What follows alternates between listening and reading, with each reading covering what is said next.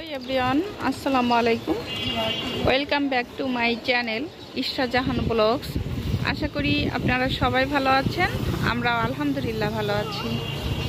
দেশ এবং প্রবাস থেকে এই মুহূর্তে যারা আমার আজকের ব্লগ ভিডিওটি দেখছেন, আশা রাখি আজকের ব্লগ ভিডিওটি আপনারা অনেক এনজয় করবেন। এখন আমরা যাব উত্তরা দিয়াবাড়ি এরপরে হচ্ছে বোনের বাসায় যাব বেড়াইতে।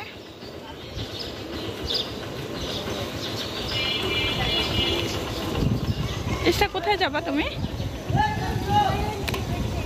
বড় আন্টির বাসায়।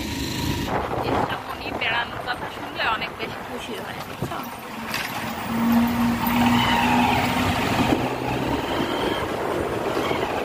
উপরে মেট্রো রেল।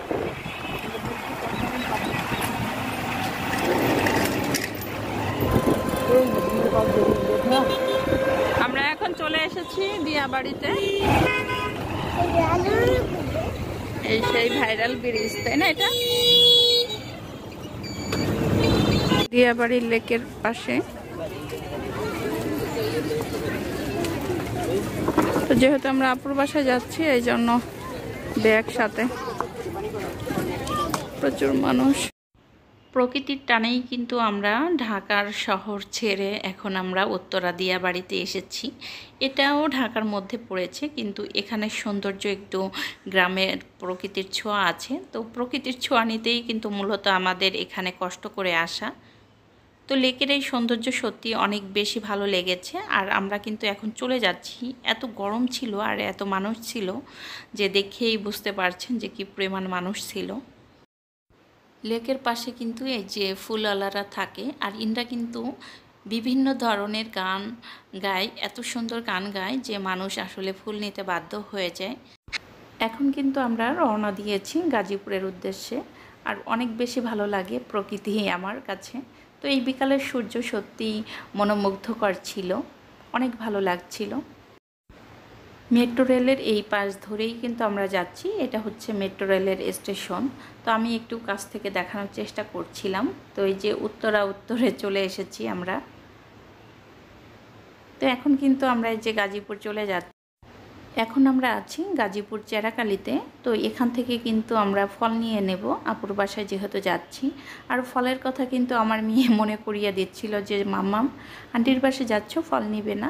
তো আমার মেয়ে কিন্তু সব কিছুতেই অনেক বেশি বোঝে। আমাদের থেকে অনেক বেশি মেমোরি ভালো, যেহেতু নতুন প্রজন্মের মেয়ে। তো এখন আমরা এই যে ফল নিয়ে কিন্তু আপুর বাসায় চলে যাচ্ছি।